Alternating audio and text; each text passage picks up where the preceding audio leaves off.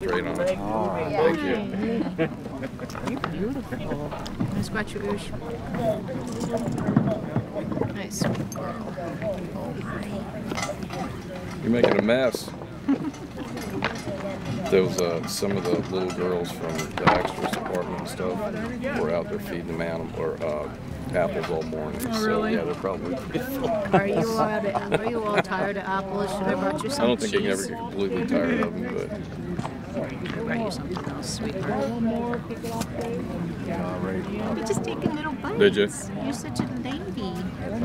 You're such a lady. mhm. here. Wipe your hands on my chaps. There you go. You. Sweet girl. Say hi to you. Hey.